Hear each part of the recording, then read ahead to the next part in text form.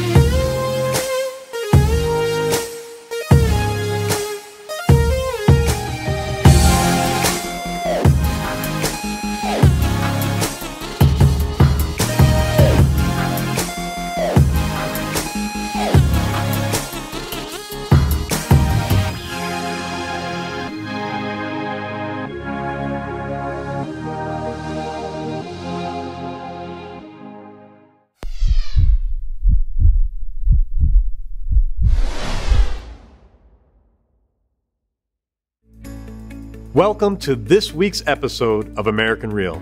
This week, we bring you Fox News reporter and anchor Trace Gallagher.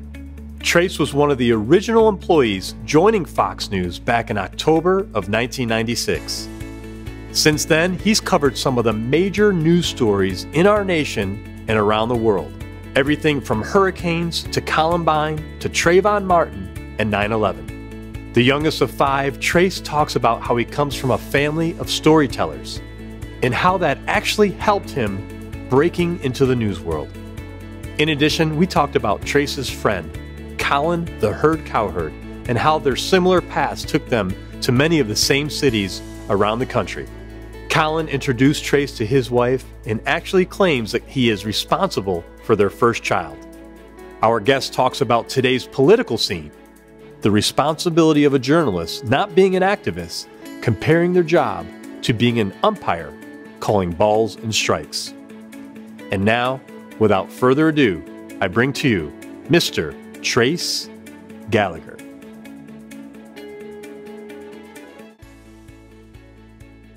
This is American Real. I am Roger Brooks. My guest today is Trace Gallagher, a reporter and anchor for Fox News you have dedicated your career to journalism, where you've worked in many great cities around the country, such as Chicago, San Francisco, New York, and Las Vegas, to name a few. Mm -hmm. You have covered and delivered some of the major news stories in our country throughout your career, which we'll discuss and much more. Trace, welcome to the show. Good to be here, Roger. Thank you for having me. Well, I really appreciate it. We have a mutual friend Glenn. Yes. Who put us in contact, and I know you guys go way back in, in Las Vegas. We go back to the Vegas days, and Glennie was, you know, he was a friend of Colin's, and Colin Cowherd has now become a very well-known sportscaster, opinion guy, radio guy. And Glennie and Colin were very close, and I met Colin because we worked at the same station in Las Vegas, the NBC affiliate, and Colin was the sports guy there, and I was the new news guy. And so uh, Colin, I walked into his office one time because I had just come from Boise, Idaho, which was my second job in television. Boise, Idaho to Las Vegas, and in Boise, I think I was making like 16,000 bucks a year. And my salary in Vegas, I think, was like 25, so I was wealthy. So I got down there, but I didn't really have any suits. So I, I was anchoring. They said, hey, can you anchor the news tonight? Because the, the main anchor is off. So I walked into Colin's office and I said, I need a jacket. I don't have a jacket. And he said, You don't have a jacket. So Colin gave me a jacket, and he's taller than I am. His arms are longer, so the jacket was too long. but I went out there and I anchored it, and you know, until I actually got a couple of paychecks in, so I can go out and buy a couple of suits, I would borrow Colin's jacket to anchor. We became friends, and Glennie was kind of part of Colin's team. You know, Colin was one of his one of his gang members. Yeah. And so Glennie and I would hang out a lot, and over the years, you know, we became very close. And he's just, you know, he's just a sweetheart of a man. Yeah, he sure Really is. He sure is, and he'll do anything for anyone. He's one of those type of guys. Yeah. And- but thinking back to those days, Trace, when when you had to borrow the jacket, Yeah. weren't those the best of times? They really were. I mean, we were, uh, you know, we were young. Colin was really popular already in Las Vegas because he had been there for about probably three years. He started off and he was doing some minor league baseball broadcasting, and then he started doing sports at KVBC, and he was popular because remember, I mean, this is the time when when Jerry Tarkanian was at UNLV. That's right. Right, and the the Runnin' Rebels won the Right. national championship. the Shark. So it was such a big, big time Yes. in Las Vegas sports history. And Colin was kind of following that, and then there was the whole scandal involving UNLV, so that was a big part of the deal. Andre Agassi was the number one player in the world in tennis at that time, and he lived in Las Vegas. So Vegas was a hot sports market. So Great time to be there. Yeah, it was a great time to be there. And I laugh. I tell the story because Colin was dating a girl, and I say, you know, Colin Cowherd introduced me to my wife. He did, and, and he said to me, he said, look, he said, my girlfriend's got this friend she works with, and let's go out Saturday night. So I said, let's go out Saturday night, fine. So this girl, he calls, and he says, we're all going out Saturday night, double date. We'll go to the UNLV game. We'll go to dinner afterwards, and then whatever. So, okay, it was going to be great. So the girl that he says he's hooking me up with, my now wife, sees me on TV the night before the date and tries to cancel it. No kidding. Doesn't like the way I look. Were you wearing the jacket that was too long? I was wearing the jacket that was too long, didn't like the way I looked, and she tries to cancel the date. And this is before cell phones, right? This is in the early 90s. She doesn't have a cell phone. Nobody has a cell phone. She can't get a hold of her friend to cancel the date, so she's got to go, right? She's stuck. She calls her mom and she says, I don't want to go on this date. It's going to be miserable. This guy, I just don't like the way he looks. I just don't like anything about him. And he was on TV and he's not my style. And his, her mom says, just go. You're not going to marry the guy. Who cares, right? Go. So she went and we moved in together a week later. we moved across country together three months later. Wow. And then we got married about a year later. We've been married now for 25 years. That's so awesome. And as you say that, I get the goosebumps because it's somewhat similar to my situation. Really? Timing and everything. We got married in '95, and I've talked to Glenn a little bit about your situation, and um, it's just wonderful, isn't it? To when you know that person Yeah. right away. You say you moved in right away, and Right. my wife and I were the same, and, and it's just, isn't it great that those things are possible? And, and I think it's destiny. Yeah, and it's a commitment for her because you know when she told her parents three or four months after meeting me that she was moving to Orlando, Florida with me, they're like, you It's know, big you're deal. 23 years old. You're not moving across country with some guy you just met. So we did it. We moved across country, and they were not happy at all. But we got married, and you know we've been moving a lot since then. We moved from, as you were saying in the intro, we moved from Vegas to Orlando. We moved from Orlando to Chicago, Chicago to San Francisco, San Francisco to Los Angeles, LA to New York, New York back to Los Angeles. So we have been moving. The longest we've ever lived in a house was, I think, four and a half years, five years. Okay. That was it. So we've been married for 25 years, and the longest we ever lived in a single house was five years. Wow. That means your kind of your turnover is is high. Sure. Your kids are seeing a lot of different schools and a lot of different friends. It's like being in the military, you know, with with I think better benefits probably, but but it really is. It's kind of like being in the military. So, you know, she she signed on for the big commitment, you know, and she knew that well, this is going to be an adventure, and it has been.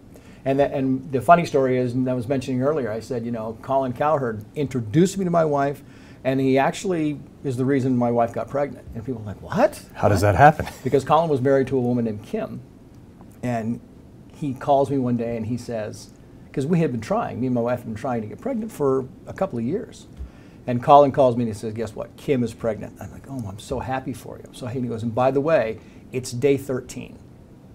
The day 13 is when, you know, that's when after your menstrual cycle, day 13 is the day. And my wife looks at me and she goes, it's day 13. A month later, she's pregnant. Oh my gosh, that's awesome. So I say, you know, Had he not made that phone right. call, So right? Colin and his wife Kim separated, right? They separated, and then when Colin got the job in uh, Connecticut at ESPN, we went to Vegas for his 40th birthday, and he and Kim were getting back together. And they decided on, the, on this night in Vegas, where we all met, that they were getting remarried.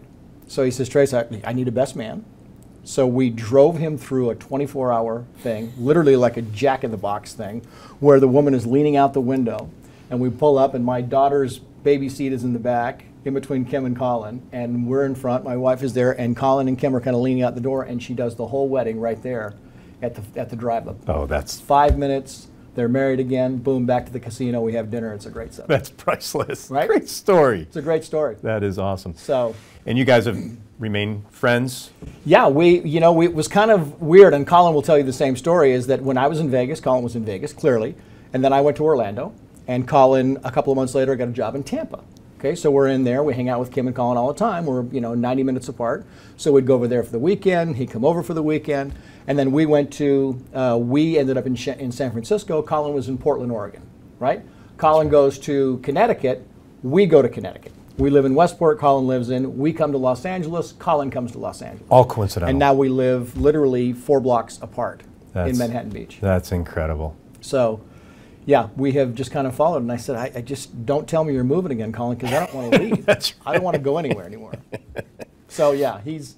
Well, I just saw him for Super Bowl last week. He had a Okay. Super Bowl party, and so we hung out. Great, he's got a place in Deer Valley now, and we uh, we were supposed to be there this weekend, but we couldn't because we had we had kid events, and we, and I had this, Okay. and um, so we're going to go up two weeks from now to his place in Deer Valley, Nice. get a little skiing in. Well, as you know, I'll be interviewing him in a couple of days, Right. so it'll be it'll be good to get his his Yeah. reaction as well to the story. Yeah, So very clever, very funny, very talented. You know, and you can you just every time as soon as I met Colin, I'm thinking this guy's going places because he's very clever. You know, he's one of those guys who he just kind of gets it, and he he pulls out the the irony of any situation, and he's just very clever in the way he phrases things and his opinion, and you hmm. know the the side of an issue he jumps on is is fun to watch. now, do you guys ever talk shop when you're when you're all together? the time. Oh, all the time. I mean, and he, it's the same thing. I'll talk sports to him, and he'll talk politics to me. Right. You know, he'll say, oh, this politics is just crazy. And I'll say, yeah, and, you know, I'll give him my political spiel. And then I'll talk sports to him, and he'll give me his, you know, his feeling on this, and I'll give him mine. And I used to say back in the day, when I would tell Colin a funny story, when he was doing radio in Portland, I'd say, okay, I'm going to tell you this story, but do not use this on the air. Because, you know, Colin will listen to a funny story, and then he'll tell it on the air. And you think, Colin, I didn't want you to tell the story. So I'll tell him, I'm, I'm going to I'm going to do this story, okay? Don't tell it to anybody on the air. Okay. No. And then he does. And then he does. All the Classic. time. Classic. Yeah, it is. So look, you're typically on the other side of, of the camera, not Right. being interviewed, and um, but you know today, really would love to learn just a little bit about your story, you know, and who you are, what makes you tick, um, some of the characteristics that that make you unique, um, and you know, it's not off. I don't think we typically think about that, Mm-hmm. but you know, I'm curious, what what who are you all about? Who is Trace? Well, I came from a big family. I'm the youngest of five, and we're a big Irish family. And um, you know, the reason that that in our family we have very good storytellers is because if you weren't a good storyteller at the dinner table, you didn't get very much time. I mean, you had to be good and you had to be compelling, or somebody else, Right. right, would take over. So you had to wait till somebody took a, took a drink before you could jump in and tell a story or do something because that's, that's the way the family was. My dad was a great storyteller. My mom, my sisters and brothers are all very good talkers, very good storytellers. And so I say, you know, it, it makes you a good communicator. When you have to be clever and good and on, and, you know, at, at the dinner table, you're going to be a good communicator in life. So the fact that I was part of a big family was, I think, um, instrumental in making me a better public speaker, you know, somebody who was who was good off the cuff. And you know, that's that's kind of a it's one of those things where you now a lot of kids focus on communication. Schools are just now finding out that hey, if we teach these kids how to communicate, they're going to be more successful. You know, in the old days, it wasn't about public presentation. Now, school, a lot of it is public presentation. They want these kids to be able to, to be confident in, in a public scene and, and speaking, and, you know, it gives them so much more confidence. And you can just see it. We have these interns that come through now, and just in the past 15 years. You know, I've been doing this for 31 years, and just in the past 15 years, these interns that are coming through are so much more confident because they focus so much more on public speaking in schools than they ever have. That's great to hear. It really is. But just going back to so going back to me, these kids from big families, they do these this research study saying the kids from big families are more gregarious. They're Yeah. just more outgoing, right? Sure. Than kids from one or two, you know, one or two children families five or six, seven or eight families, the kids are just more gregarious. Yeah. That's what companies are looking for is kids from big families and stuff. And and there really aren't many big families anymore. You know, That's true. You have three kids now, and they're like, that's a lot of kids. Yeah. Because you got to put these kids in school and so forth. And we have two two children. I think I don't know how I would do five. I don't know how I would do seven. We have friends that have seven. I'm like, how do you do it? Yeah. So you know, so that's that's part of the background. I went. I, I grew up in San Diego, Southern California boy, and then I went to high school in Mammoth. And anybody who doesn't know where Mammoth is, it's a ski area in California, and it's up in the eastern Sierras, and it's one of the biggest ski mountains in the country. And my dad decided at some point in time, you know, I was the youngest of five. My siblings were out of high school, and I was in middle school. And he said, uh, "Let's go to Mammoth." We bought this old youth hostel, a dormitory, 50 kidding. guys upstairs, 50 girls downstairs, church groups, school groups, and they went up there and we ran the ski lodge for uh, for five years through high school.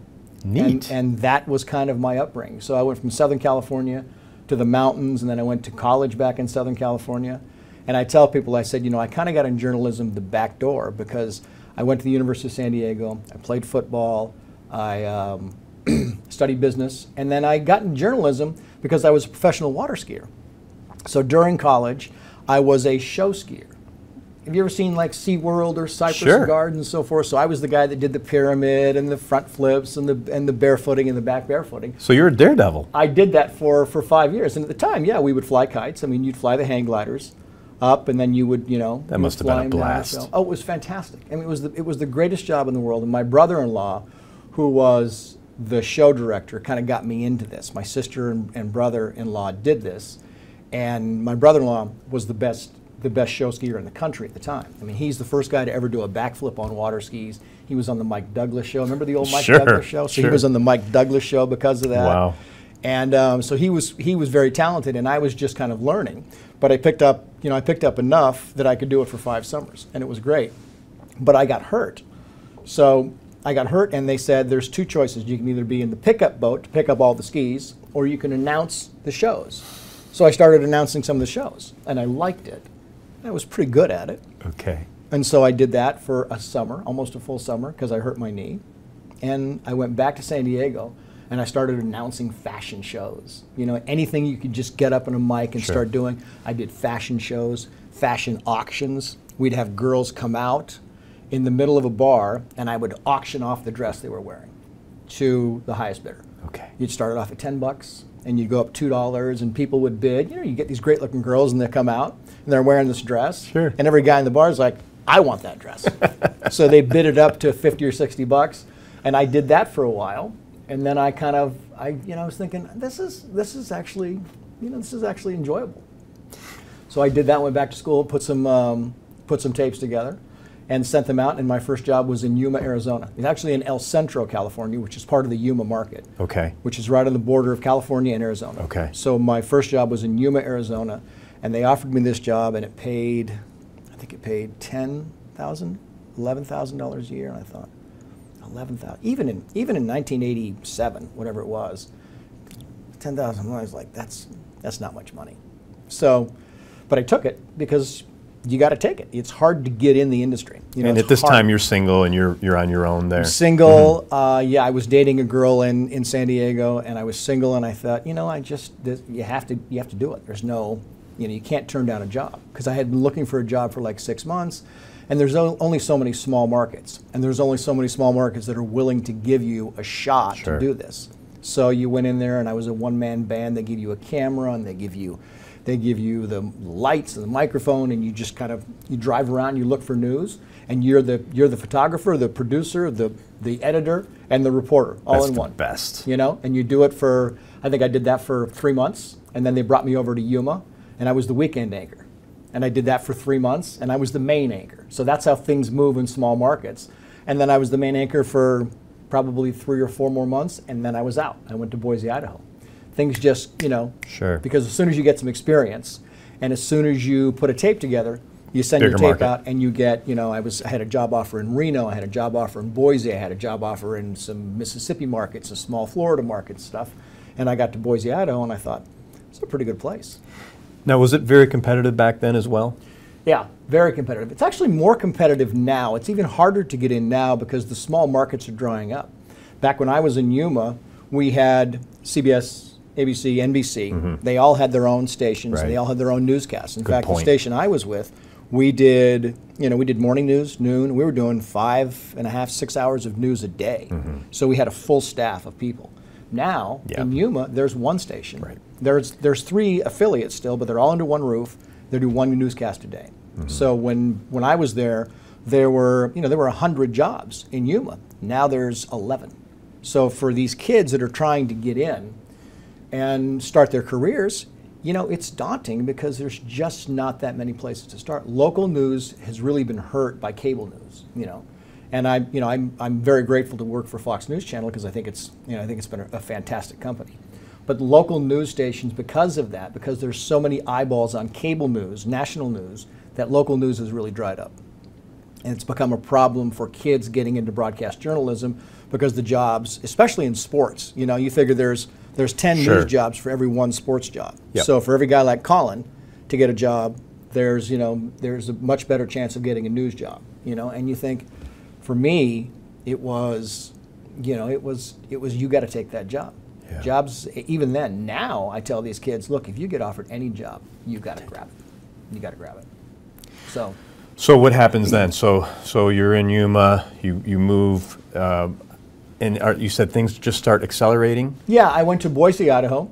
The, the locals call it. You know, everybody says Boise. Well, it's actually Boise. If you're in Idaho, Okay. It's Boise. Boise. So the first thing I tell you when you're doing news here is it's Boise, Idaho. Pronounce it right. Not Boise. Right. So, um, and then you leave again, and now I call it Boise because everybody else goes, why are, why are you saying Boise? Well, that's actually what it's called, but okay. So I went to Boise, Idaho, and I thought the, the deal was, you know, I was the number one station there, the NBC affiliate, and I still didn't really know what I was doing. You know, I knew a little bit from, from Yuma, and but Boise was a great teaching market because it's a capital city. It's a great little place to live. It's, if, if you haven't been to Boise, if you haven't been to Boise, Idaho, it's a really out. fantastic place. Yeah. I mean, it really is. So I went there, and because it was a capital city, it was a great news market because it was all political. You know, you learned you learned how the political spin, you know, the the different partisan issues. You learned how to cover politics, which is a big part of being in broadcast journalism, especially now in the days of Trump. Sure. But back in Boise, it was invaluable to me because I was at a good station, and there was great reporters there who had been there for a long time. And it wasn't like Yuma where everybody comes in and leaves in a year. In Boise, Idaho, we had people that had been there for 20 years and are still there to, to this mm. day. Well, maybe not, but but you know, we have an anchor who was there for had been there for 10 years, and she is still there today. And she is, and it's market. I think it's like market 120. There's only 180 markets. Okay. This was market 120, so not a big market, but a great place to live. And she stayed. And I always said, as I came up through the ranks, she was one of, if not the best, female news anchor I had ever seen. And to this day, I think it's, I think she still is. What's her name? Her name is Dee Sarton. Hmm. And she's extraordinarily talented, was then, is now, and of all the news anchors you see, even on the networks, she was the best. If you ever go into Boise, Idaho, and you turn around, you're like, that's a good Wow. news anchor. That is a personable, really good news anchor. So why wouldn't someone like her elevate to a national? She got many offers. I mean, okay, she got for personal to Seattle and Portland and come up and come up because she loved Boise. She likes it, She, okay. her, her husband was there. He had a job, and they just and it's a great little town. Sure. It's a great place to raise your kids. Snow skiing is ten minutes away. Water skiing is ten minutes away. Golf courses they've got. I mean, it really is a, a really nice place. And if I was a doctor or a lawyer, or I wanted to stay in Boise, I, I you know, I probably would have. You mm-hmm. know, I'd just stayed there and, and been very happy. But in television, the game is, especially for for a young guy who's a reporter looking to kind of rise through the ranks, you got to keep moving. Yeah. You got to keep moving. So I was in Boise for about two and a half years, and then Vegas called. And Vegas was, you know, at that time it was market like 60. Vegas Okay. is like market 40 now. I mean, Wow. Vegas has Growing. exploded. Sure. But Vegas at the time was market 60, and big market, big jump for me. And again, you know, you're $25,000, and that's every year. so, so for me, it was a big deal because you're like, wow, you know, this is a, it was just a reporter job, and I was the in Boise at the time. I was the weekend anchor, but the news director in Vegas said, listen, we've got a we've got a weekend anchor opening coming up in about four or five months. If you'll, you know, just hang in there, take the reporter job, we can pretty much guarantee we're going to slide you into the weekend anchor slot.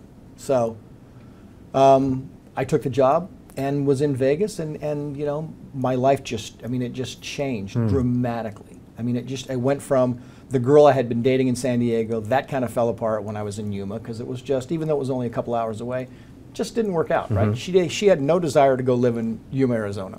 I don't blame her. And she had no desire to go live in Boise, Idaho. So that kind of ended. And um, Vegas opened the door for me meeting people like Colin and Glennie and my wife, whose name is Tracy. Okay. So it was Trace Trace and and Tracy. Tracy. people, uh, and my name, my really, my middle name is Tracy. So you know, my dad started calling me Trace as a, as a, you know, as a very young boy. So I've gone by Trace for most of my life. But yeah, it's Trace, Trace and Tracy, Unbelievable. who met on a blind date That in Vegas, and Tracy tried to cancel the date. Just a great story. Yeah. Just a great story. And so then we were in Vegas, and you know, I was going to take. There was a, a job offer in Los Angeles, and there was a couple of job offers, but the the money wasn't really what we thought it was going to be, and so we ended up taking a job in Orlando, Florida, as a weekend anchor, and the cost of living in Orlando at the time was was exceptional, right? And the money was pretty good, and so we, I said, hey, I know I don't, we don't know each other that well, but um, I'm moving across country. You want to go? She said, yeah, let's go. That's So we moved to Orlando. How long did you spend there?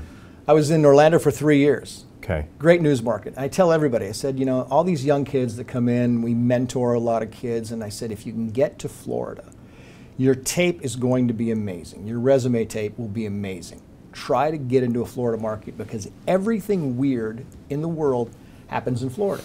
You get hurricanes, you get, you know, you get uh, Casey Anthony kind type Yeah, stories. right. Every bizarre thing in the world, for some reason, happens in Florida. So it's the best news state in the country. The Florida, the recall, right? Yeah. The, I mean the the 2000 election. right. You know, Gore. Gore v. Bush, Florida. You know, hurricanes. You name it. Florida is it's just the mecca for news. And at the time, you know, Tiger Woods was living in That's in right. Orlando, and Shaquille O'Neal, and you had all these. So you know, you, these another stories. great time to be where you were.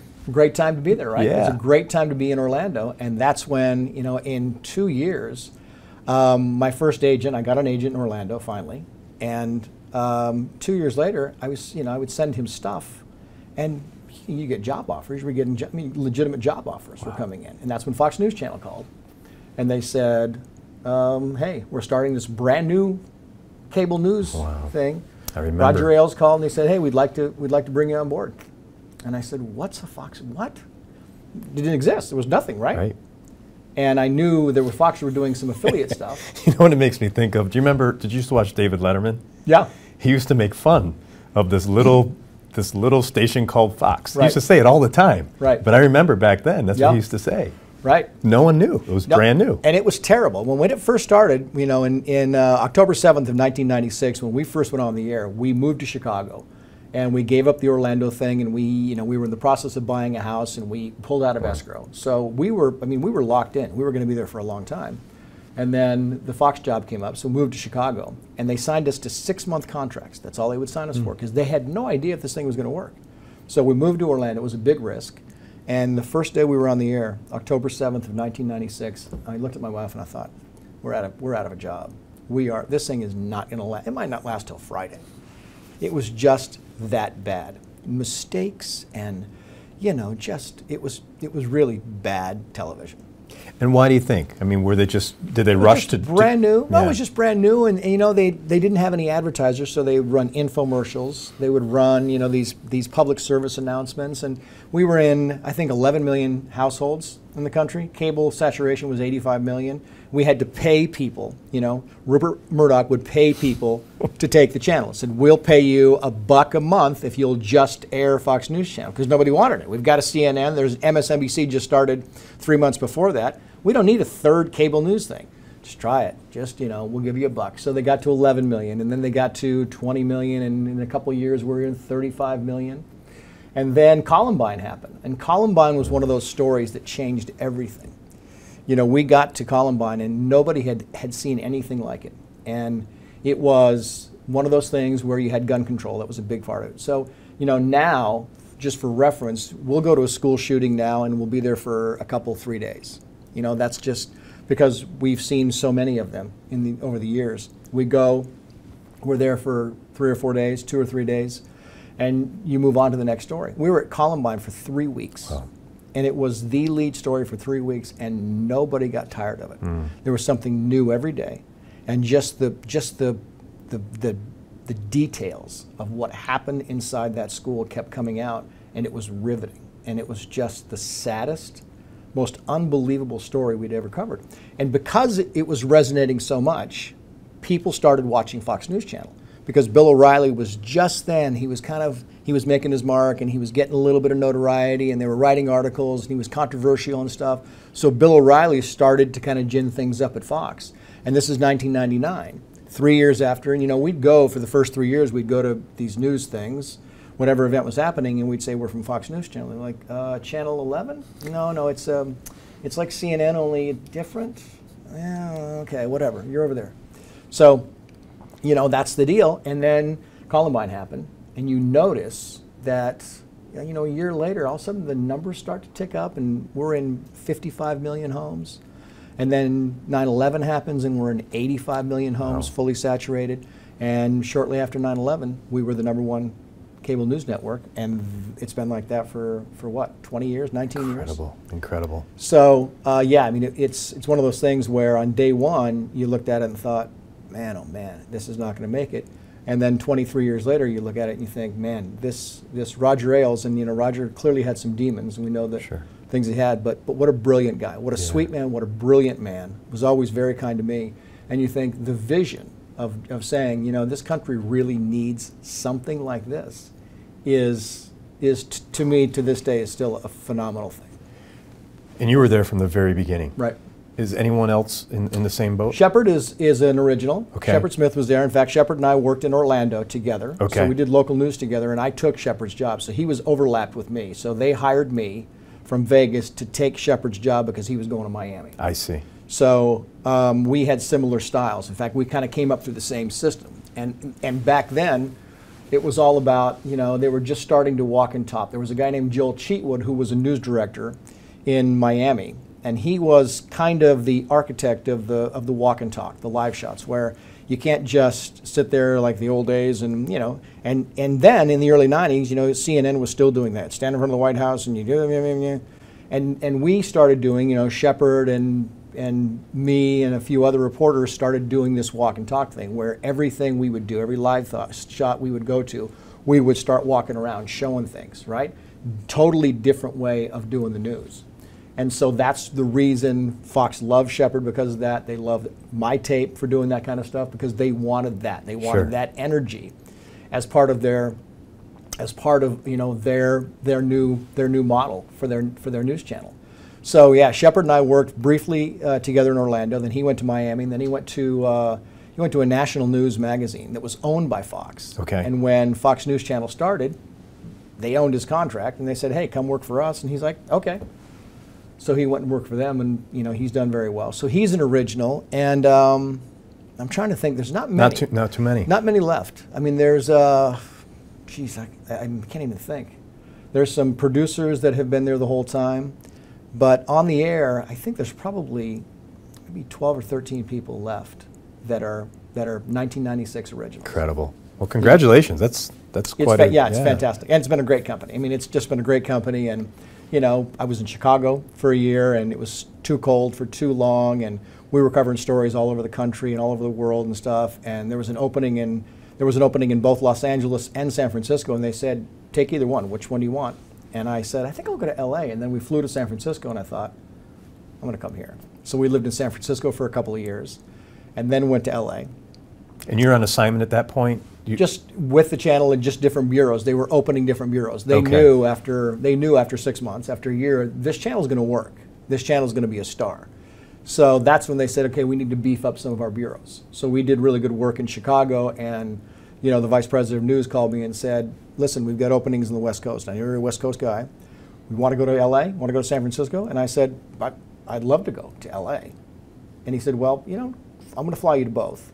Go check out San Francisco. And I went with my wife to San Francisco, and she's like, man, it's beautiful here. So we'd never lived in San sure. Francisco. Sure. How nice. So we went there and uh, I was there for, for a couple of years, and then went to LA okay. after that. And you've been here ever since. Went to been went to LA and stayed there for about six years, and then lived in New York. Went to Connecticut. Oh, okay. We and lived in Westport, Connecticut, right. for uh, for five years, and then I was working out of New York. Then I was anchoring the weekends. I was doing uh, Studio B back then on the weekends, and the Fox Report on the weekends, and then I became Shepard's uh, chief correspondent, and then I started doing a show with Martha MacCallum. Yes. Uh, who's now doing her own show. We did this one o'clock to three o'clock show every day called The Live Desk, and that lasted for a couple of years, and then that show went away, and uh, then I came back to Los Angeles because they were starting to beef up breaking news and all kinds of stuff in Los Angeles. So I came out here. They built the studio out here, so now we can do shows out of LA, which is, you know, it just adds one more dimension to, to Fox News Channel. So we've been back out here now for for seven or eight years. Great. Yeah.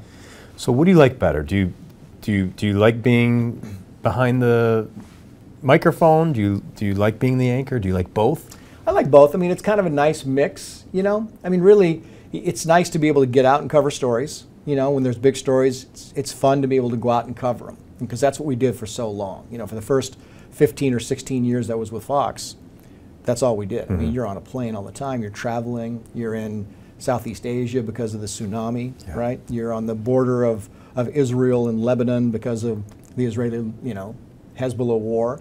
So you're, you're in a different place every month, you know, and it's great for a while until, you know, you get 15, 16 years of that and you get kids and, you know, you missed vacations and you're, you know, some of this stuff, after a while, you're like, you know, I'd love to be able to sit in, in a studio for a month mm-hmm. and not have to go anywhere or a couple of months, sure. you know?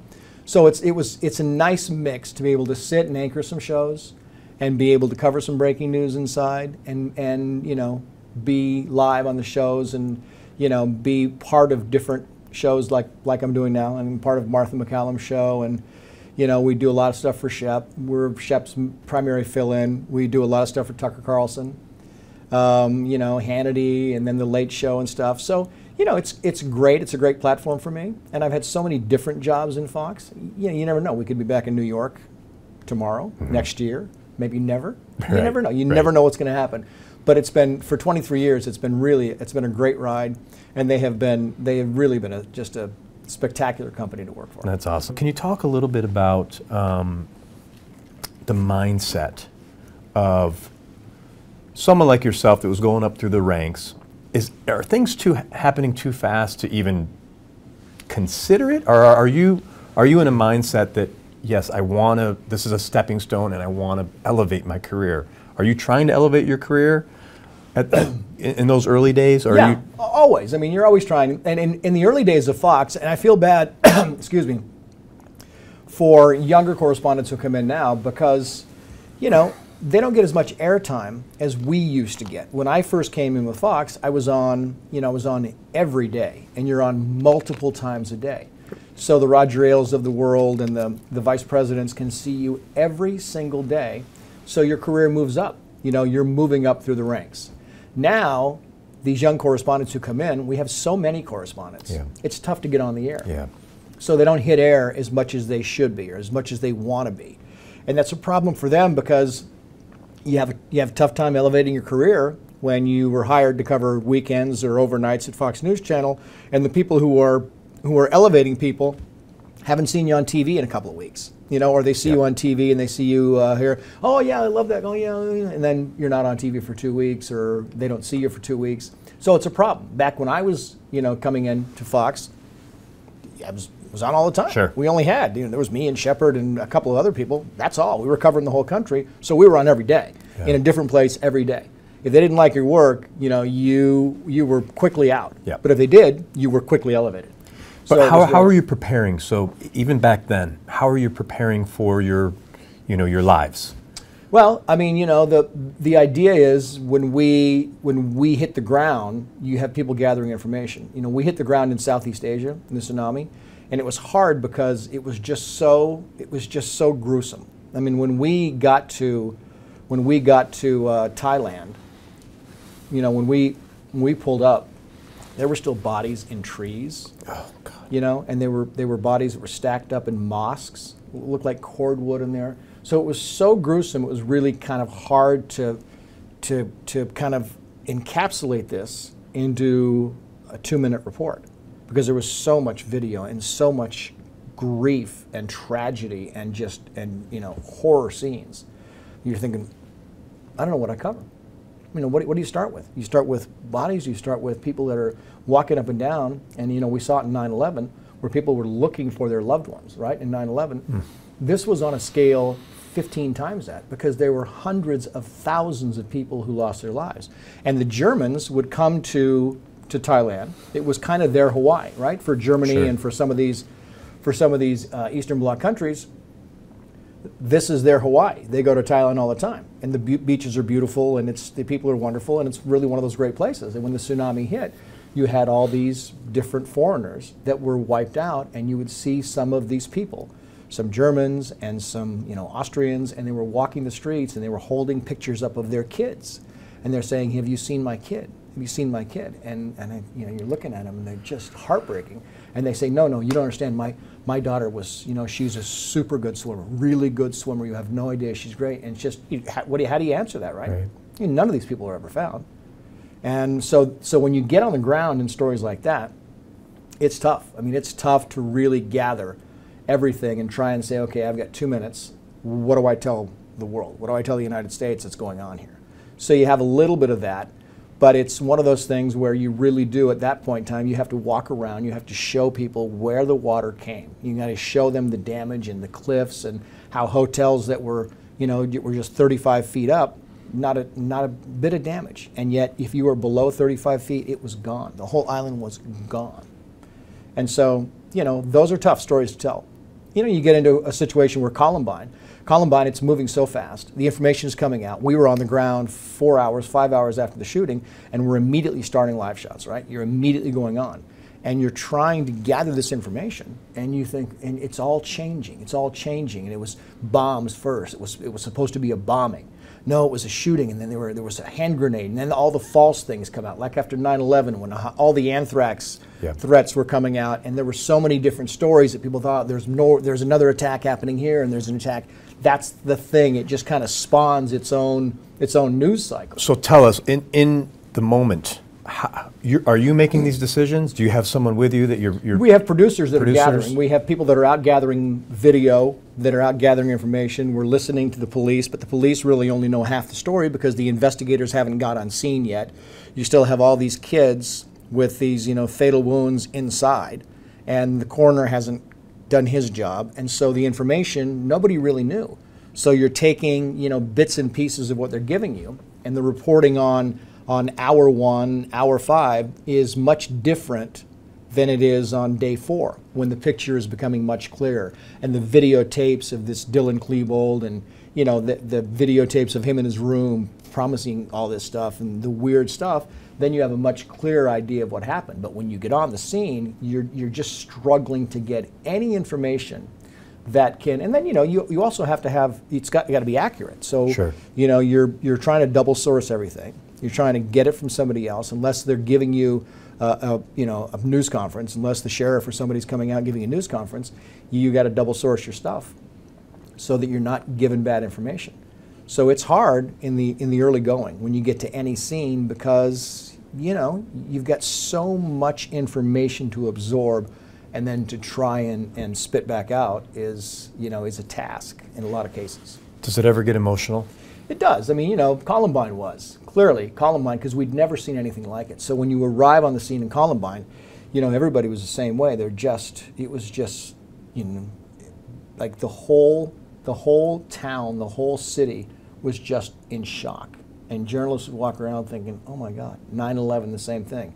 You go down to Ground Zero and you think, even days after and Yeah. weeks after, just the whole feeling down there, just like the whole world has just changed. Yeah. So those are the stories. Columbine, 9/11. Those are those are really world-altering stories because it changes.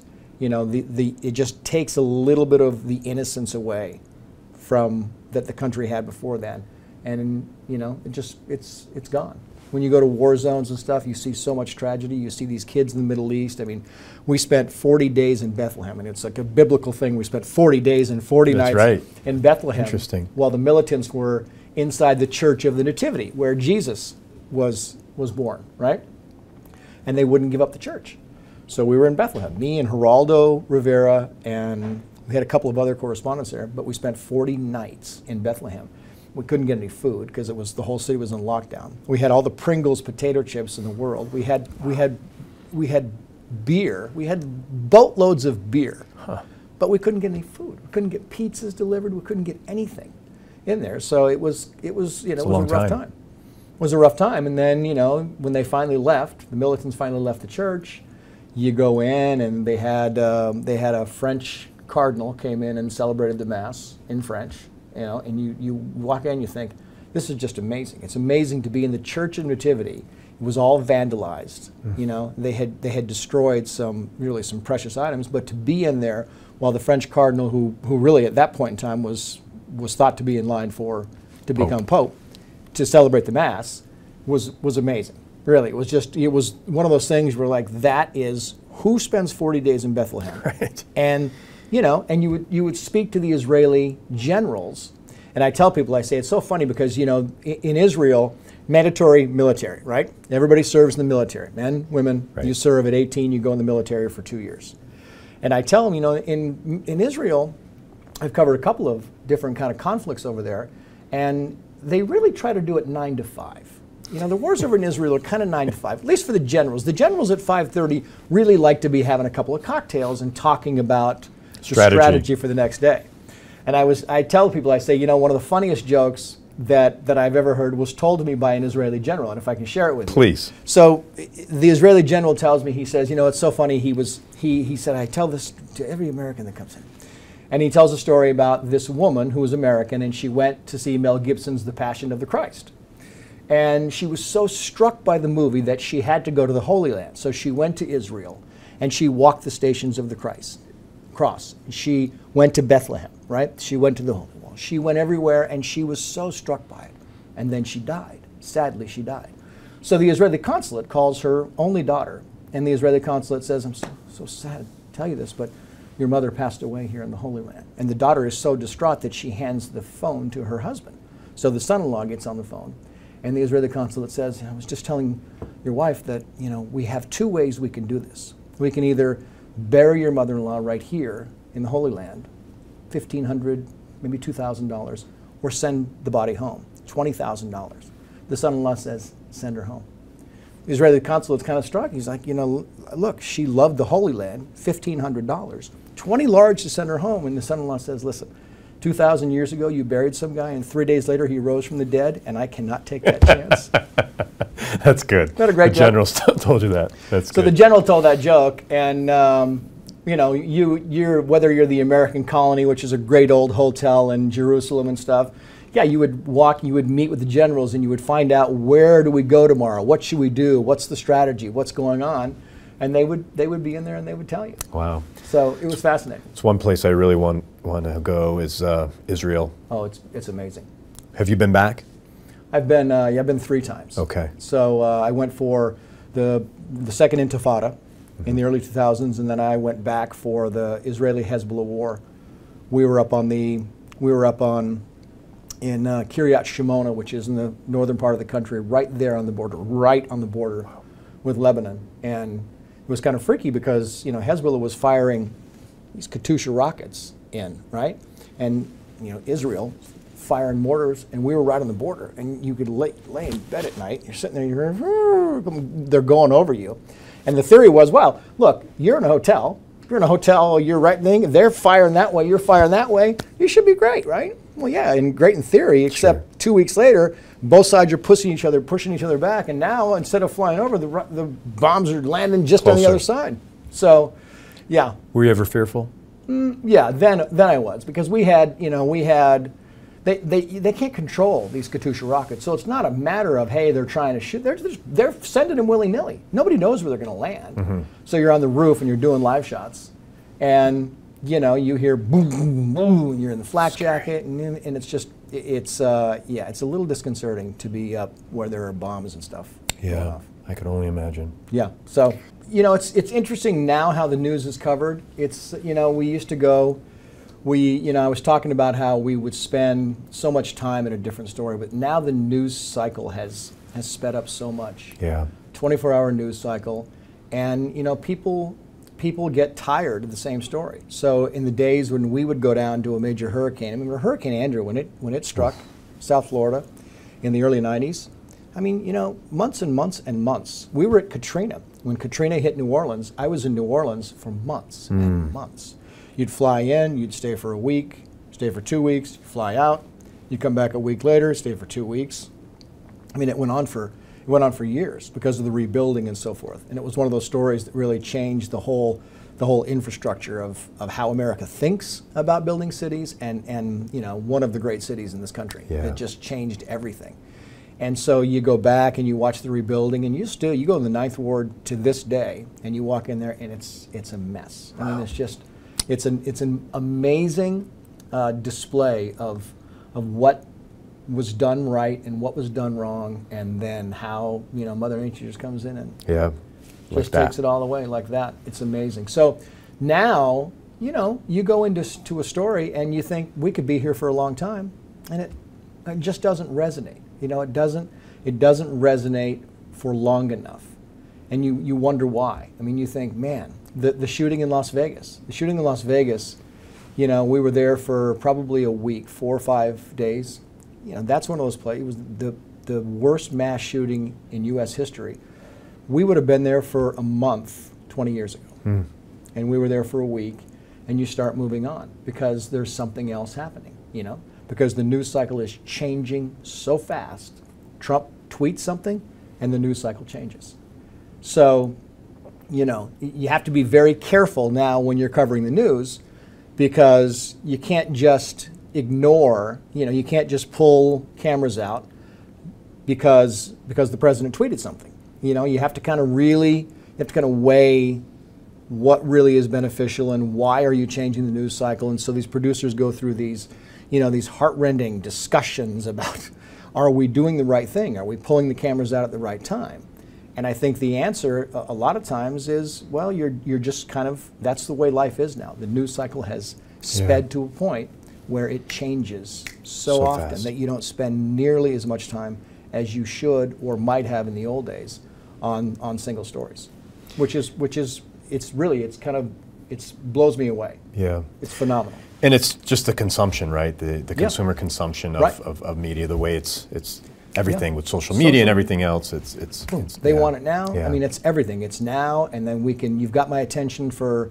you know a, a, a minute, an hour, two hours, whatever it is, and now yep. I'm done. Now I want to move on, and so that's kind of what we have to do. We reflect the what what the audience wants. Sure. So, Trace, let's talk about journalistic responsibility. Mm-hmm. Um, first off, I'm I'm just really either I'm really naive or or I, I I'm like a lot of people in that I always thought that journalists are supposed to be very neutral. Right. News stations are supposed to be very neutral. Mm-hmm. we obviously know we're living in a time that is like no other. Right. You're on one side of it, where I would I don't know at least half of the population right. is not happy with, with, say, a Fox News. But when I look, you know, I, I, I honest with, with, with my show, with everything I do, I try to stay pretty neutral because right. I don't think extreme is good one way or the other. Um, but what's happening today? What's Yeah, happening? Because you've it- been there for 30 Right, plus years and I'm now. a journalist. Look, I'm a broadcast journalist, and I tell everybody I try as hard as I can. I try not to take sides. Look, you know, I, we're umpires. We are there to call balls and strikes. That's our job. We're not there. We're not opinion people. We're not advocates, right? It's not advocacy. It's journalism, not activism. Right. And you see a lot of activist journalists now. And you look to some of their stations, and it's nothing but opinion journalism. There's nobody who's just giving you the facts. It's just opinion journalism. And I'm, I labor every day to look if the president does something that needs to be acknowledged is good i acknowledge it if the president does something that that is not beneficial to this country i acknowledge it that's my job that's what i do you know you can't just i'm on you know, I'm on Tucker Carlson's show. I'm on Sean Hannity's show. I know their direction. I know those are opinion people. Their editorial direction is going to be very pro-Trump. I get it, but that's not my job. My job is when they put me on their show, I, I tell them all, look, the deal is I'm giving you, I'm giving you both sides. I'm going to give it to you straight down the middle because that's what we do. That's what I do. That's my job. So you know, I'm not, I'm not, I'm not trying to pick fights with the president, and, and a lot of journalists are. I'm not trying to get on Stephen Colbert's show because I'm, you know, I'm an anti-Trump journalist. I'm just trying to cover the news. I'm trying to call balls and strikes. Call it the way that I see them. Clearly, every journalist has has inherent bias. Mm-hmm. You know, whether you show it or not. There's you believe things. We're all human. We believe things, and we believe this is screwed up and this is proper, and you know that's you bring these in. But but you also have to just look at the facts, and you have to kind of give both sides of the story. You have to tell them, look, the president did this today, and, and this is going to work out well. President did this today, and it's not going to work out well. You know, this wasn't a, this was a bad idea because the experts said this is a bad idea. This, the experts said, is actually going to do really, really beneficial things for the country. But on some stations, you're not getting the, they said this is going to be beneficial. You're not getting any of that. And you think, why? Why wouldn't you at least look? You know, you can't, if, if you know, some stations, you look at it and you think, come on, you know, if, if Trump came out tomorrow and cured cancer, they'd say, but look at all the doctors he's putting out of, out of you know, there's going to be a negative Right. spin to it. And you think, you know, some of it's just not fair. When he calls fake news, you know, sometimes he doesn't do himself any favors. The tweeting and the stuff that he does, he's not doing himself any favors at all. But he has done some good things in his time in office, and they should be recognized. He's done some bad things. So when he says, you know, it's fake news because news is, you know, is negative toward him, well, you know, some of that stuff's negative. A lot of stuff you're not helping yourself. But at the same time, there are some, some positive issues that are also not being recognized. So I think journalists now need to take a step back and just back out of the whole activist thing and just start calling balls and strikes.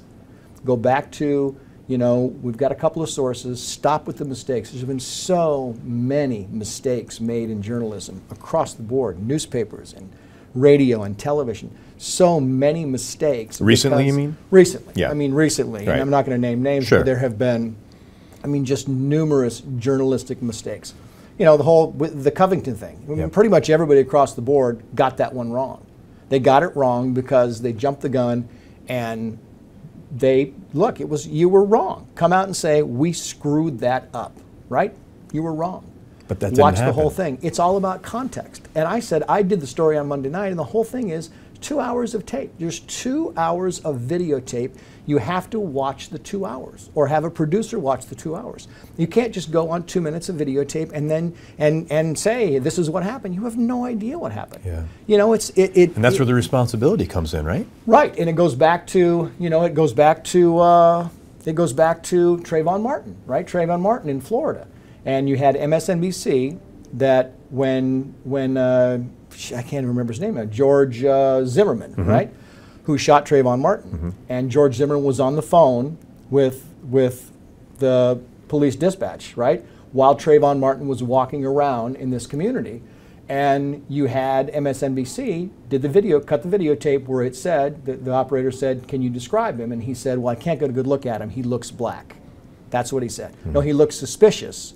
He looks suspicious. He looks black. Now, That was 35 minutes after. So they cut that together. That's not journalism. He said, I can't get a good look at him. He looks suspicious.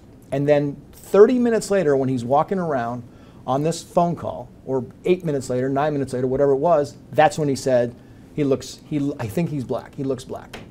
They clipped him together to make it look like that's a racist Why? statement because because Ratings? it fits the narrative yeah, because it doesn't if it doesn't fit the narrative you just That is so it- wrong. it's so journalistically That wrong, really and they fired me. people because of it but that's the whole point. The whole point is is you can't do that but they're doing it because it fits the narrative. They have already drawn conclusions. Uh, you know newspapers and radio and you know everybody has already drawn conclusions and they're looking for facts to fit those conclusions. That's what they do. They go out and they say okay that fact doesn't fit our conclusion. Yeah, yeah. and it's not right michael brown the Michael Brown case. You know, our my whole thing was, look, let's just wait and see what the Department of Justice comes to. Let's wait before we start saying that this one's guilty and this is the thing. The officer is, you know, we had the one legal analyst said that Michael Brown was, you know, executed in broad daylight, and you think. You, you know, the Department of Justice came out later and said that's absolutely not, not correct. The Obama Department of Justice came out and said that's absolutely not correct. That was a justified shooting, but but you have media outlets that have already drawn their conclusions and they are looking for the narrative and that narrative, you know, sometimes is is you know, it causes bad effects. You talk Sure. about what happened in Ferguson, Missouri. You know, the riots. Oh, it was you awful. name it. It was unbelievable. Just fomenting, just fomenting this stuff. And I, you know, that's one of those things where, as a journalist, you think, come on, you can't do that. You can't do that. You just have to say, we don't know enough right now to be able to say that this happened or this happened. We're learning, we're getting, here's what we do know. And here's what, what experts on both sides are saying about it. Here's what police are saying. Here's what, you know, these advocates are saying.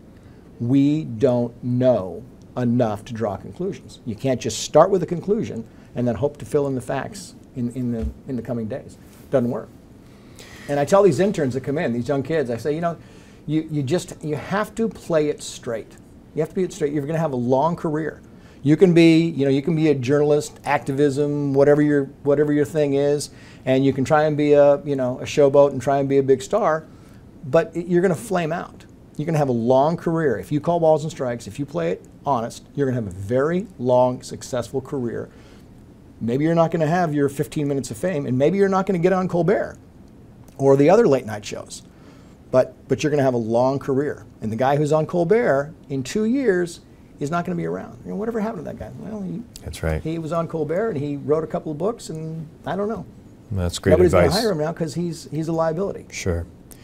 Have you ever made uh, any blunders in your all the time. days? Oh, I mean, you know, mistakes all the time. We Mm-hmm. make mistakes. I mean, you know, there's sometimes where where we cover breaking news like we have for for 23 years. You know, when breaking news happens, Shepard Smith and I will go on the air, oftentimes, and cover hours of news, just going back and forth, and you know, trying to figure out what's happening. And we, you know, we've tried to get to a point where where we're very careful about terminology and what you say and how you say it and So you're you don't wanna scare- strategizing.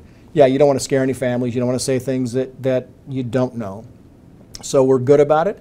But look, in the early goings, when you have breaking news, mistakes are made. You know, you, you have information that comes in that was bad information, right? Maybe given to you by a law enforcement source. Mistakes are made. You make mistakes all the time. You try to correct them, and you move on. You know, I've, look, I've you, know, you screw up different things a lot, Yeah. but you try not to. I mean, the whole idea is you try to you try to go in and you try to fill in the facts that you have to paint a portrait of what you think is happening with this news story at this point in time, without saying, well, you know, here's the bottom line and here's we don't know the bottom line. Mm-hmm. You know, most often, until days later, we don't know the bottom line. There's no way we're gonna know the bottom line right now. So we don't know, you know, we stay away in shootings, we stay away from numbers because they're always wrong. Yep. We stay away from, you know, um, accusations because they're always wrong. We stay away from timelines because they're always wrong, right? So you just kind of, you have to report on what you know is happening at that point in time. Then that's, that's the best you can do. Sure. Do you feel that the media and the nation is looks at Fox and as you know the wicked stepchild. I think some do. I mean, some do. I think uh, you know some people on the left clearly look at Fox as thinking that that Fox is is evil. The same way that some people on the right look at CNN and MSNBC thinking that's they're just not fair. It's not fair. That's not fair journalism. Yeah, everybody has their opinion. Yeah. Sure. I mean, you know, that's that's that's the way it is. Some people look at some people look at Trump and love him, and some people look at him and hate him. It's the way America is. So, And- but has it, it, it is this time different than than the rest? I mean, Uh, through Obama's administration, did you experience the same? Yeah, I mean, you know, through Obama's administration, we think, you know, Obama thought himself thought that Fox News Channel was against him.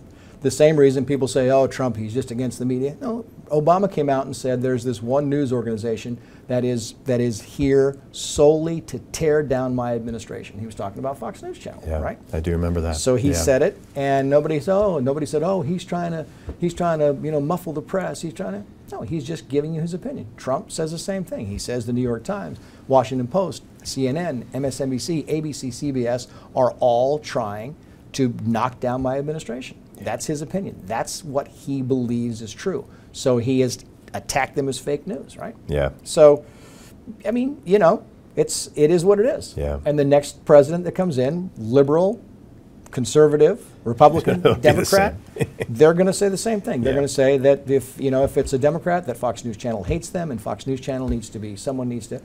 The same thing that Trump is saying about CNN. Yeah. I mean, that's just the way it is. And again, I, I try, and I, I really don't watch much news anymore, um, but I, I try to balance it, right? And I try to say, okay, let me watch MSNBC, let me watch Fox, and just, Right. you know, you just kind of try to hear both.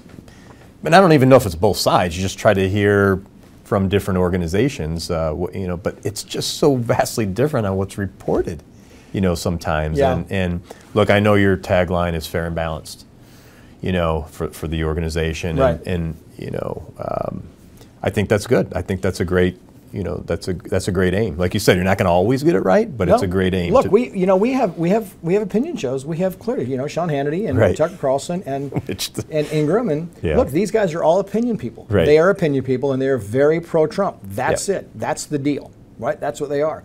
But you know, I think I watch Special Report with Bret Baier. I watch Martha Show. I watch um, you know Cavuto and other, and I think I see very fair reporting. Yeah. I see good journalism and I see very fair reporting. And sometimes I look at the other stations and I don't see that. I don't see a lot of that balance.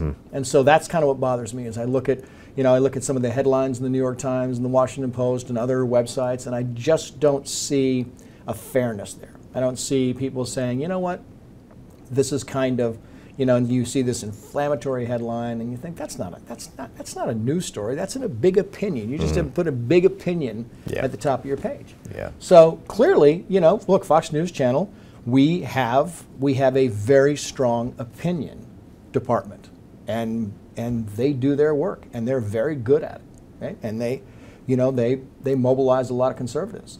But we also have a very good journalism department. We also have some very good reporters and journalists at Fox News Channel that I think are doing yeoman's work. Yeah. And I watch them every day, and I think that's pretty fair. That's pretty fair. And they, you know, sometimes Fox gets a bad rep. Oh, they're just, you know, they're state television. That's not state television. Mm-hmm. You watch Special Report. You, anybody watch Special Report, they are meticulous about making sure that every fact is, is checked and covered, that every source is true, and that every story is balanced. I mean, they go to great lengths to do that. And so, you know, I think I, I would defy any journalism instructor or any network head to be able to look at that show or some other shows and say, yeah, that's, you know, they're, that's right wing news, because it's not. It's good to hear. I wanted to talk about a couple of things like Michael Jackson. Did you, you covered that? I covered Michael I don't Jackson. yeah, you want to cover I covered that. Michael Jackson. In fact, I covered it with uh, with a man. We just lost one of our colleagues this week. His name is Bob Massi, and Bob is a uh, was a legal analyst for us. He also did a real estate show. But but Michael Jackson was one of the first the first uh, big stories that we covered together, and just a brilliant mind. I mean, Bob Mm-hmm. Massi, one is just a sweet man, really a brilliant mind, legal mind, and uh, it was super fun to cover that. And I have very fond memories of covering the Michael Jackson trial because we were up there for five or six months. Yeah. And you know, and Bob Masters was one of those guys that would go out to dinner with us every night, and he didn't drink, and he eats really or ate nothing but oatmeal and chicken and stuff. Very funny, very sweet guy. And so when you bring up Michael Jackson, you think, oh, it just I, I, it makes me miss him. His funeral is this is Oh, this Thursday. Sorry, sorry. Yeah, that's And tough. uh, yeah, he passed away. He had uh, prostate cancer. Wow. And I, you know, just it's it heartbreaking. Yeah. But but yeah, you, the Michael Jackson, we were there for for six months. It was a different trending news story cycle back then. You know, Scott Peterson. Remember the Scott Mm-hmm. I Peterson do, case? yes, sure. That was the biggest news story of the year then. I'm not sure That if was it happened Florida, today. right? Was in California. oh, that was Ca- California. California. Scott Peterson killed his wife, That's Laci, right. and their That's right. I'm sorry. That's right. And he had the, the he was having that affair with with the uh, the woman. Mm-hmm. And we were up there. The same thing. We were up in Northern California covering that for six months. Wow. And people were. It was kind of. It was the first time since OJ that people were mesmerized by court cases, right? By legal cases. And now they don't resonate so much. the same way. Yeah. And some do and some don't. Casey Anthony kind of did, you know? People Right. looked at it and kind of resonated and stuff. But Michael Jackson and Scott Peterson, two court cases that people were just riveted by. And we've tried a couple more.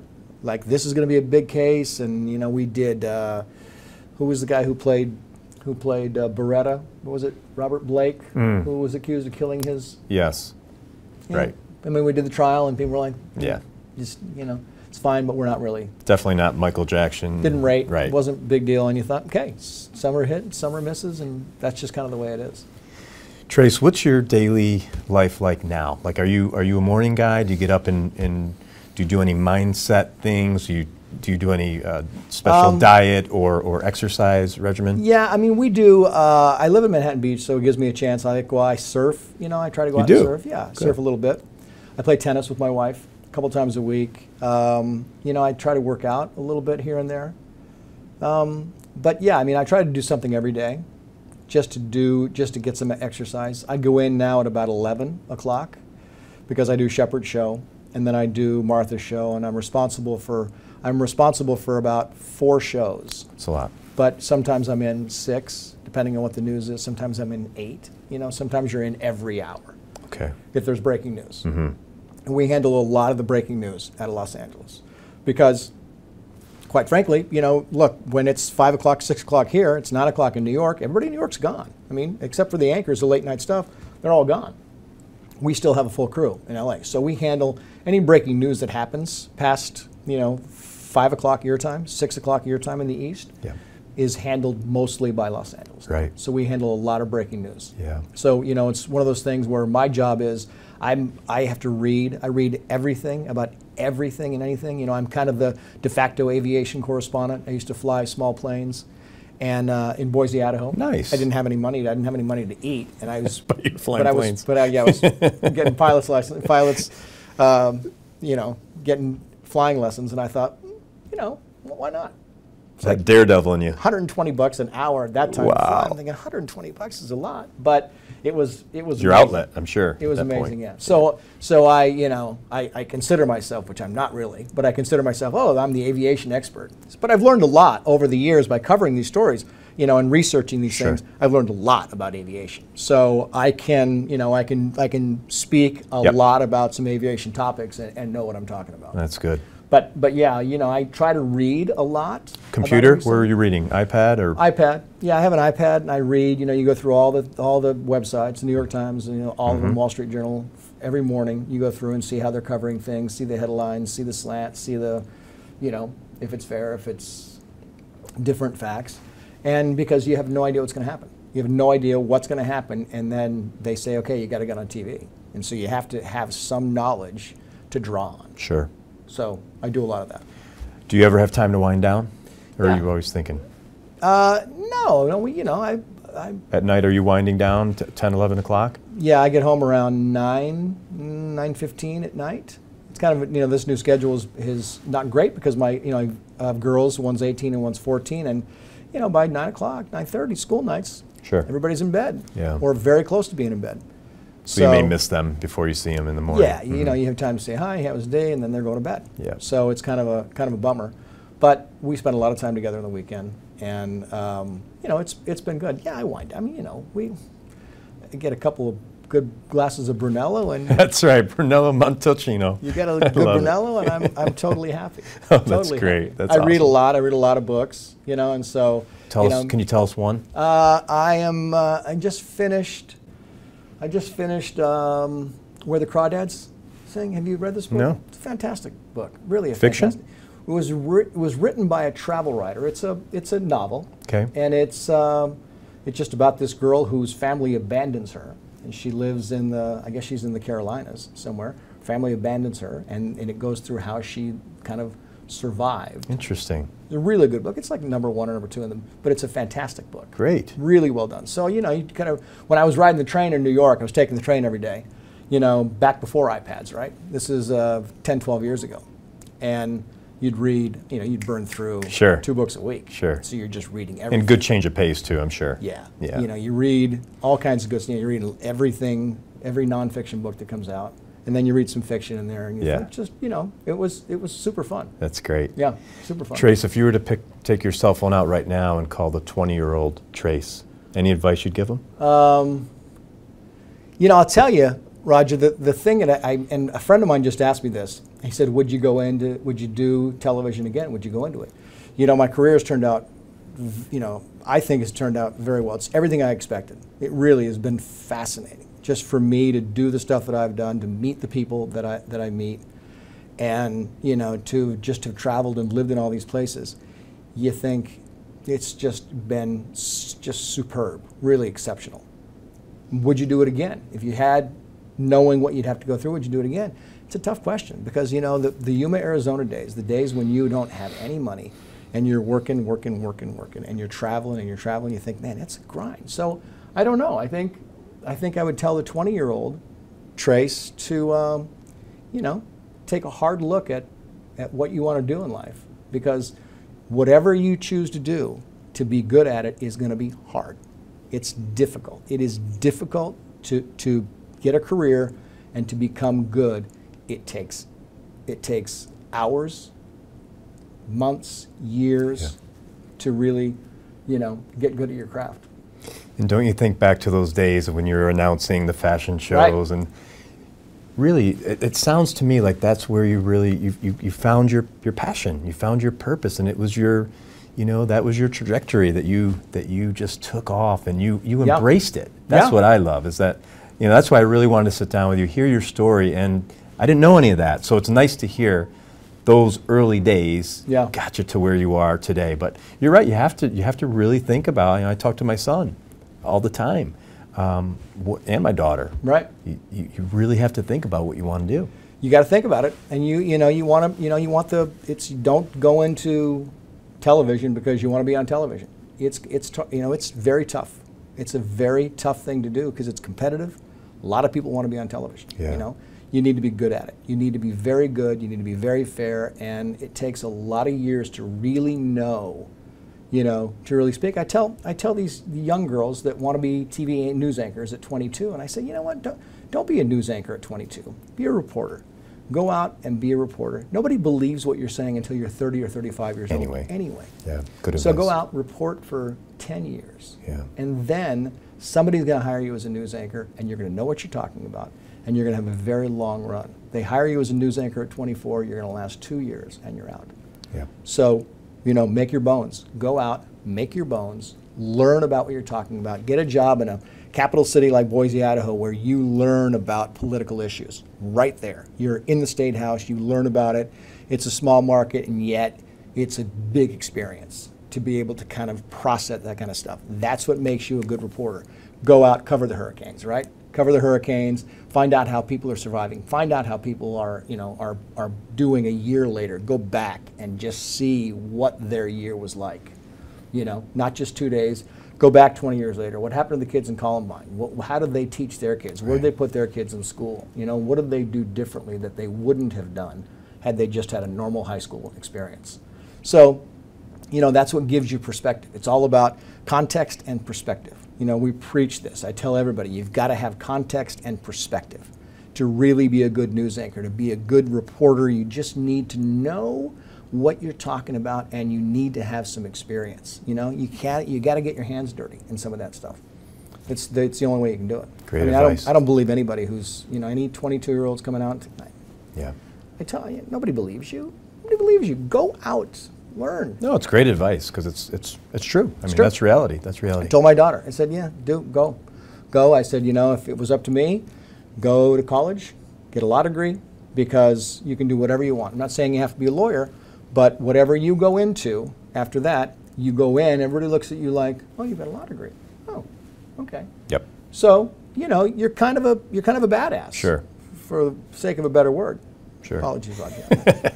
you know what I'm saying? Yeah. You just you you go with a little bit more gravitas, and and that's what I, I tell my daughters. I say people look at you differently. Maybe it's not fair, but it's the truth. When you come out and you've got a master's or a, a law degree, Absolutely. they just look at you like, oh, Well, you put that work in, those extra years of, of study to mm-hmm. have that's experience in itself. In Right. itself. Exactly. the job. Well, Trace Gallagher, you are a gentleman. It's been wonderful to, to Been sit down with you today. I do have one last question, What's and that? that is, what do you want your legacy to be? my legacy, I want, I want uh, the world to say, man, that guy told his daughters, gave them good advice. He gave good advice because they have, they have become very successful women. That's the whole thing. For me, you know, my legacy is eh, nobody's ever going to bring me on the late night shows. You know, I'm just not, I'm not that guy. Totally fine with me. But, but someday somebody might bring my daughter on a late night show, you know, because they are, you know, they're doing really well. They've become good kids, and so your legacy is, how did your kids turn out? Your kids turn out to be good. You know, you look at your son, you think, you know, that's what it's all about. If your kids turn out to be strong women, and and they are respected and live good lives, people are going to. We can talk about Trace Gallagher's life for a hundred years on that son of a gun. The guy on Fox News Channel. Oh, I hated that guy, or I liked that guy. But then they, you know, that guy, that guy turned out a good family man. He, you know, he he and his wife did a good job. At the end of the day, that's what matters. That's what matters. Yeah. Yeah. I mean, that's what, you know, someone told me and I said, you know, I used to, oh my God, Peter Jennings is, I was, you know, I was a big fan of Peter Jennings because I still think he was probably the greatest broadcaster ever. And they would say, yep, you know, it's, it's sad, but when Peter Jennings died, people are like, you know, it's so sad. And then they move on. Yeah. So the truth is, people, you know, people are great, but nobody cares. Nobody cares that, that you were Peter Jennings or Trace Gallagher or you know, Roger Brooks. Nobody, you know, they just, your friends and your family and those who love you care about you. Nobody else does. That's it. Awesome. Because they have their own lives and they shouldn't. They have their own lives and their own families to care Yeah. about. So, That core, that central core, that's what matters. Sure. That's what matters. Trace, thanks so much. Welcome to the American Real family, and, and thanks so much for doing this. very good. You tell Glennie I said hello. I will. Thanks. Yep.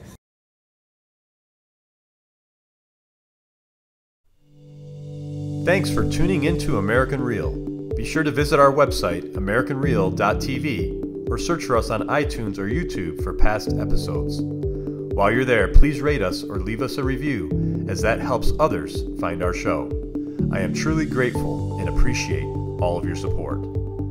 At American Real, we're on a mission to help as many people around the world fulfill their dreams and obtain their goals. If you'd like to be part of our inner circle or want one on one coaching, check out the American Real Learning Academy, where we have self help groups and courses so you can build the best you. We also have a new Facebook group where you can connect with high achievers from around the world.